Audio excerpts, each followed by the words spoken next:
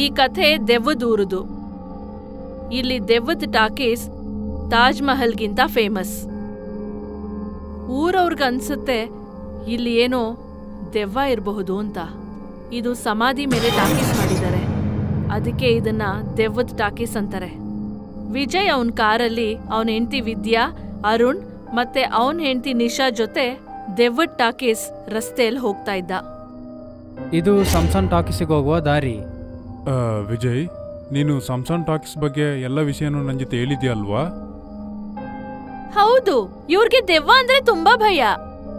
ಭೂತಗಳನ್ನ ನಾನು ನಂಬ್ತೀನಿ ಆದ್ರೆ ಭಯ ಪಡಲ್ಲ. ಅರೆ ದೆವ್ವ ಭೂತ ಅಂತ ಯಾವುದೂ ಇಲ್ಲ ಇದೆಲ್ಲ ಬರೀ ಕಲ್ಪನೆ ಅಷ್ಟೇ. ಯಾರಾದರೂ ಎದುರ್ಕೊಂಡ್ರೆ ಸತ್ತೋಗ್ಬಿಡ್ತೀರಾ? ಅರೆ ನನಗೆ ಸಾಯಕ್ಕೆ ಇಷ್ಟ ಇಲ್ಲ ನೀನು ಕಾರ್ನ ಬೇಗ ಓಡ್ಸಪ್ಪ. ವಿಜಯ್ ಅರುಣ್ ಹೇಳೋ ಮಾತಿಗೆ ನಗ್ತಾನೆ. ಮತ್ತೆ ಕಾರನ್ನ ಜೋರಾಗಿ ಓಡಿಸ್ತಾನೆ. ವಿಜಯ್ನ ಕಾರು ದೆವ್ವದ ಟಾಕೀಸ್ ಹತ್ರ ಬಂದು ಅಲ್ಲೇ ನಿಂತೋಗುತ್ತೆ. ಅರುಣ್, ನಿಶಾ ಮತ್ತೆ ವಿದ್ಯಾ ಭಯದಿಂದ ಕಾರಲ್ಲೇ ಬಚ್ಚಿಟ್ಕೊಂಡ್ಬಿಡ್ತಾರೆ. ಜೋರು ಬಿರುಗಾಳಿ ಬೀಸ್ತಾ ಇರುತ್ತೆ. ದೆವ್ವದ ಟಾಕೀಸ್ ಬಾಗ್ಲುಗಳು ಹಾಗೆ ಉಯ್ಯಾಲೆ ಹಾಗೆ ತೂಗ್ತಾ ಇರುತ್ತೆ. ಟಾಕೀಸ್ನ ಒಳಗಡೆ ಜನರು ಕೂಗೋದು, ಕಿರ್ಚೋದು ಕೇಳಿಸ್ತಾ ಇರುತ್ತೆ. ಅರೆ ಈ ಟಾಕೀಸ್ ಒಳಗಡೆ ಯಾರೋ ಇದ್ದಾರೆ. ಲೇ ಸಂಸನ್ ಟಾಕೀಸ್ ಒಳಗೆ ದೆವ್ವಗಳೇ ಇರುತ್ತೆ. ಆದ್ರೆ ಭೂತ ಸಹಾಯ ಯಾಕೆ ಕೇಳುತ್ತೆ? ನನಗೆ ಸಾಯಕ್ ಇಷ್ಟ ಇಲ್ಲ. ಜಲ್ದಿ ಇಲ್ಲಿಂದ ಹೊರಡು. ವಿಜಯ್ ಯಾರ್ ಮಾತನ್ನು ಕೇಳಲ್ಲ.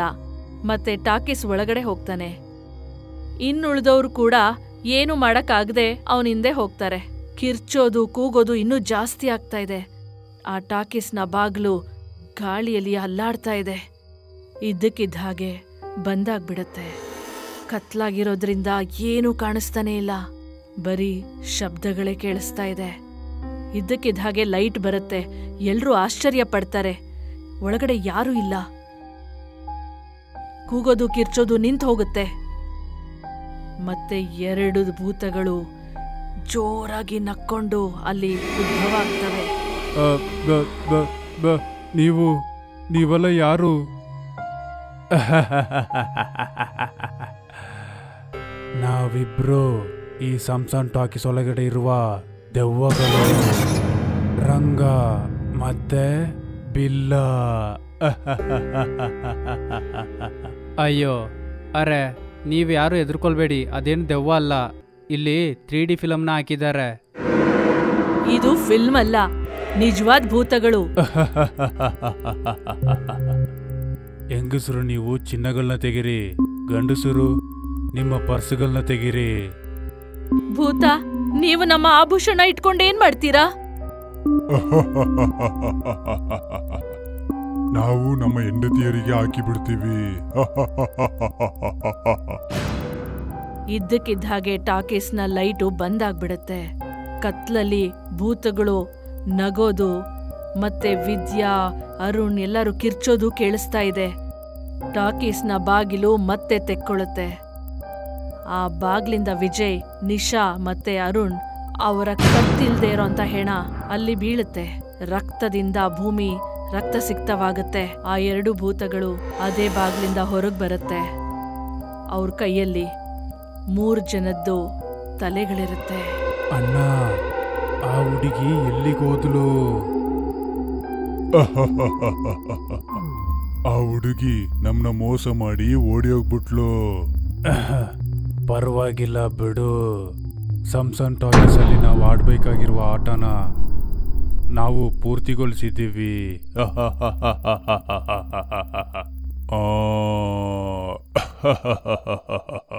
ಬಾ. ನಮ್ಮ ಮುಂದಿನ ಬೇಟೆನ ಇವಾಗ್ಲೇ ಶುರು ಮಾಡೋಣ. ವಿದ್ಯಾ ದೆವ್ವದ ಟಾಕೀಸ್ನ ಭೂತಗಳಿಂದ ಪ್ರಾಣ ತಪ್ಪಿಸ್ಕೊಂಡು ಓಡ್ತಾ ಇರ್ತಾಳೆ. ಬರೀ ಕಾಲಲ್ಲಿ ಓಡ್ಕೊಂಡು ಪೊಲೀಸ್ ಸ್ಟೇಷನ್ಗೆ ಹೋಗ್ತಾಳೆ. ಇನ್ಸ್ಪೆಕ್ಟರ್ ಸಾಹೇಬ್ರೆ ದೆವ್ವದ ಟಾಕೀಸ್ ಅಲ್ಲಿ ನನ್ ಗಂಡನ ಹತ್ಯೆ ಆಗಿದೆ. ಏನು? ಕೊಳೆನಾ ಯಾರ್ ಮಾಡಿದ್ದು? ಭೂತಗಳು ನನ್ ಗಂಡ ವಿಜಯ್ ಅವ್ರ ಫ್ರೆಂಡ್ ಅರುಣ್. ಮತ್ತೆ ನಿಶಾನು ಕೂಡ ಕೊಂದ್ಬಿಟ್ಟಿದೆ. ಕೊಲ್ಲೋಕ್ಕೂ ಮುಂಚೆ ಭೂತಗಳು ನಮ್ಮ ಆಭೂಷಣ ನಮ್ಮ ಹಣ ಎಲ್ಲನೂ ಕಿತ್ಕೊಂಡ್ಬಿಡ್ತು. ನಾನ್ ನನ್ ಪ್ರಾಣ ಕಷ್ಟಪಟ್ಟು ಉಳಿಸ್ಕೊಂಡ್ ಬಂದಿದ್ದೀನಿ. ಅರೆ ಆ ದೆವ್ವಗಳು ನಿಮಗೇನು ಗಾಯ ಮಾಡಿದೆ ಅಲ್ವಾ? ಮೊದಲು ನಿಮ್ಮನ್ನ ಹಾಸ್ಪಿಟ್ಲಿಗೆ ಕಳಿಸ್ಬಿಡ್ತೀನಿ. ಆಮೇಲೆ ಆ ದೆವ್ವಗಳನ್ನ ಹೋಗ್ಬಿಟ್ಟು ನೋಡ್ತೀನಿ. ಇನ್ಸ್ಪೆಕ್ಟರ್ ಕಾನ್ಸ್ಟೇಬಲ್ ಜೊತೆ ವಿದ್ಯಾನ ಹಾಸ್ಪಿಟಲ್ ಕಳಿಸ್ತಾರೆ. ಮತ್ತೆ ದೆವ್ವದ ಟಾಕೀಸ್ನ ಅಭೂತಗಳಿಗೆ ಏನ್ ಮಾಡೋದು ಅಂತ ಯೋಚಿಸ್ತಾರೆ. ಇನ್ಸ್ಪೆಕ್ಟರ್ ಅವರ ಪ್ಲಾನಿನ ಪ್ರಕಾರ ಕಾನ್ಸ್ಟೇಬಲ್ ಜೊತೆ ದೆವ್ವದ ಟಾಕೀಸ್ ಹತ್ರ ಬರ್ತಾರೆ. ಜೀಪ್ ನಿಲ್ಲಿಸಿ ಇಬ್ರು ಹೊರಗೆ ಬರ್ತಾರೆ. ಕಾನ್ಸ್ಟೇಬಲ್ ಸೀರೆ ಉಟ್ಕೊಂಡು ಹೆಂಗಸಿನ ವೇಷದಲ್ಲಿ ಇರ್ತಾರೆ ಸರ್ ನನ್ನ ಹೆಂಡತಿ ವಿಧವೆ ಆಗ್ಬಿಡ್ತಾಳೆ ದಯವಿಟ್ಟು ನನ್ನ ದೆವ್ವದ ಹತ್ರ ಕರ್ಕೊಂಡು ಹೋಗ್ಬೇಡಿ ಸರ್. ಅರೆ ಎದುರ್ಕೊಳ್ಬೇಡವೋ ನಿನ್ನ ಚಿನ್ನನೆಲ್ಲ ಬಿಚ್ಚಿಕೊಡು. ನಾನು ನನ್ನ ಪರ್ಸನ್ನ ಜೀಪ್ ಒಳಗೆ ಇಟ್ಕೊಳ್ತೀನಿ. ಹೆಣ್ಣಾಗಿರೋಂಥ ಕಾನ್ಸ್ಟೇಬಲ್ ಅವರ ಒಡವೆ ಎಲ್ಲ ಬಿಚ್ಚಿ ಜೀಪಲ್ಲಿ ಇಡ್ತಾರೆ. ಇನ್ಸ್ಪೆಕ್ಟರ್ ಕೂಡ ಅವರ ಪರ್ಸ್ನ ಜೀಪಲ್ಲಿ ಇಡ್ತಾರೆ. ಮತ್ತೆ ಇಬ್ರು ದೆವ್ವದ ಟಾಕೀಸ್ ಕಡೆ ಹೊರಡ್ತಾರೆ. ಶಂಶಾನ್ ಟಾಕೀಸಲ್ಲಿ ಮತ್ತೆ ಅದೇ ಥರ ಶಬ್ದಗಳು, ಗಾಳಿ ಎಲ್ಲ ಬೀಸ್ತಿರತ್ತೆ. ಇನ್ಸ್ಪೆಕ್ಟರ್ ಕಾನ್ಸ್ಟೇಬಲ್ ಜೊತೆ ದೆವ್ವದ ಟಾಕೀಸ್ ಒಳಗೆ ಹೋಗ್ತಾರೆ. ಟಾಕೀಸ್ ಒಳಗಡೆ ಪೂರ್ತಿ ಕತ್ಲು, ಇದ್ದಕ್ಕಿದ್ದಂಗೆ ಲೈಟ್ ಬರುತ್ತೆ. ಎದುರುಗಡೆ ಎರಡು ಭೂತಗಳು ಕಾಣಿಸುತ್ತವೆ. ಟಾಕೀಸಿನ ಬಾಗ್ಲು ಬಂದಾಗ್ಬಿಡತ್ತೆ ಕಾನ್ಸ್ಟೇಬಲ್ ಭಯ ಪಟ್ಕೊಂಡು ಇನ್ಸ್ಪೆಕ್ಟರ್ ಹಿಂದೆ ಅಡುಗ್ತಾರೆ.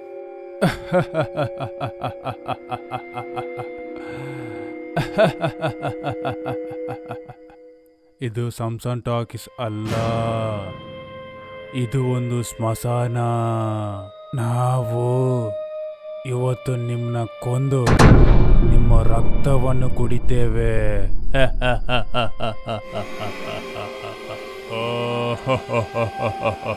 ಆದ್ರೆ ಅದಕ್ಕಿಂತ ಮುಂಚೆ ನನಗೆ ನಿನ್ನ ಹೆಂಡತಿಯ ಚಿನ್ನನು ನಿನ್ನ ಪರ್ಸನು ನನಗೆ ಇವಾಗಲೇ ಕೊಡಬೇಕು. ಅದು ಬಂದು ಇಲ್ಲಿ ನೋಡಿದ್ದೆ ಹೋಗಲೇ ನಾವು ಹೊರ ಊರಿನವರು ನಾವು ಈ ಥಿಯೇಟರ್ಗೆ ಫಿಲಮ್ ನೋಡ್ಲಿಕ್ಕೇನೆ ನಾವಿಲ್ಲಿಗೆ ಬಂದಿದ್ದು. ಸಂಸನ್ ಟಾಕೀಸಲ್ಲಿ ಒಂದೇ ಒಂದು ಫಿಲಮ್ ಮಾತ್ರ ಓಡುತ್ತೆ ಅದು ಏನಂತ ಗೊತ್ತೇನೋ ಇದೇ ಸುಡುಗಾಡು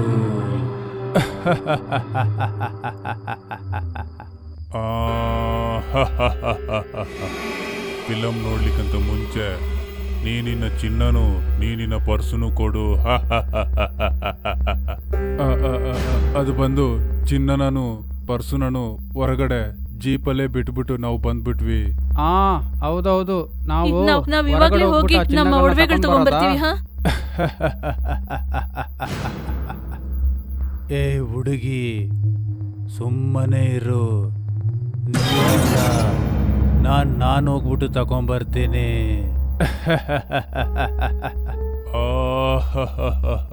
ಬಾ.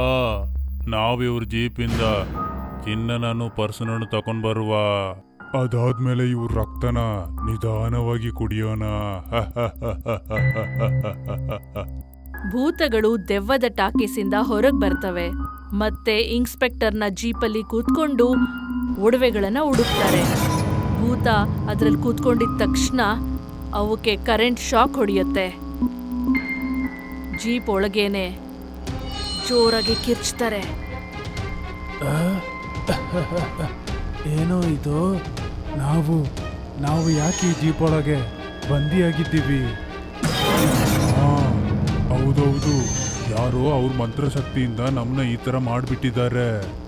ಯಾರೋ ಅಲ್ಲ. ನಾನೇ ನಿಮ್ಮಿಬ್ಬರನ್ನ ಹಿಡಿದು ಮಡಗಿದ್ದೀನಿ. ಜೀಪ್ ಹತ್ರ ಆ ಮರದ ಹಿಂದೆ ಬಚ್ಚಿಟ್ಕೊಂಡಂಥ ಒಬ್ಬ ಪುರೋಹಿತರು ಬರ್ತಾರೆ. ಅಷ್ಟರಲ್ಲಿ ಇನ್ಸ್ಪೆಕ್ಟರ್ ಮತ್ತು ಕಾನ್ಸ್ಟೇಬಲ್ ಕೂಡ ದೆವ್ವದ ಟಾಕೀಸಿಂದ ಹೊರಗೆ ಬರ್ತಾರೆ. ಏನು ರಂಗ ಬಿಲ್ಲ? ನೀವಿಬ್ಬರನ್ನು ಇವಾಗ ಪೊಲೀಸರ ಕಸ್ಟಡಿಯಲ್ಲೇ ಇದ್ದೀರಾ? ನಿಮ್ಮಿಬ್ರನ್ನ ಹಿಡಿಯೋದಕ್ಕೋಸ್ಕರನೇ ನಾವು ಈ ಆಟವನ್ನು ಆಡಿದ್ದೇವೆ. ಕಾನ್ಸ್ಟೇಬಲ್ ನಿನ್ನ ನಿಜವಾದ ರೂಪಕ್ಕೆ ಬದಲಾಗು.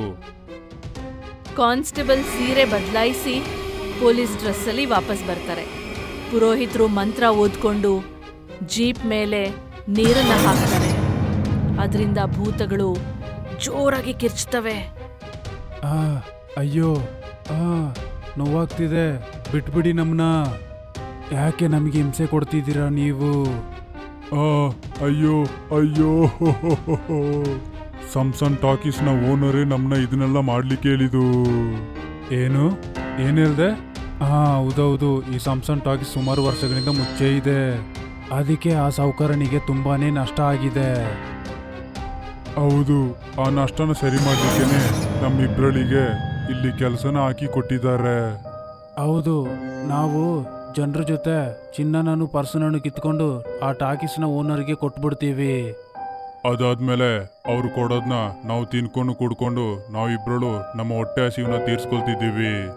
ಇವಾಗ ನಿಮ್ಮ ಹೊಟ್ಟೆಲಿ ನಾನು ಬೆಂಕಿನ ಬರ್ಸ್ತೀನಿ ನೋಡು. ನಿಮ್ಮನ್ನ ಸುಟ್ಟು ಬೂದಿ ಮಾಡ್ಬಿಡ್ತೀನಿ. ಪುರೋಹಿತರು ಅವರ ತಾಂತ್ರಿಕ ವಿದ್ಯೆಯಿಂದ ಎರಡು ಭೂತಗಳನ್ನು ಒಂದು ಬಾಟ್ಲಲ್ಲಿ ಹಾಕಿ ಮುಚ್ಚಿಬಿಡ್ತಾರೆ. ಮತ್ತೆ ಮಂತ್ರ ಓದಿ ಆ ಬಾಟಲ್ನ ದೆವ್ವದ ಟಾಕೀಸ್ ಒಳಗಡೆ ಬಿಸಾಕ್ತಾರೆ. ದೆವ್ವದ ಟಾಕೀಸ್ ಒಳಗಡೆ ಒಂದು ಜೋರು ಧಮಾಕ ಆಗುತ್ತೆ. ಮತ್ತೆ ದೆವ್ವದ ಟಾಕೀಸ್ ಸುಟ್ಟು ಬೂದಿ ಆಗ್ಬಿಡುತ್ತೆ ಟಾಕೀಸ್ ಜೊತೆಯಲ್ಲಿ ಎರಡು ಭೂತಗಳು ಸುಟ್ಟು ಬೂದಿ ಆಗ್ಬಿಡ್ತವೆ ಇನ್ಸ್ಪೆಕ್ಟರ್ ದೆವ್ವದ ಟಾಕೀಸ್ನ ಓನರ್ನ ಹಿಡಿದು ಜೈಲ್ಗೆ ಹಾಕ್ತಾನೆ. ಈಗ ದೆವ್ವದ ಹಳ್ಳಿ ಈ ದೆವ್ವದ ಟಾಕೀಸಿಂದ ಮುಕ್ತಿ ಆಗ್ಬಿಡುತ್ತೆ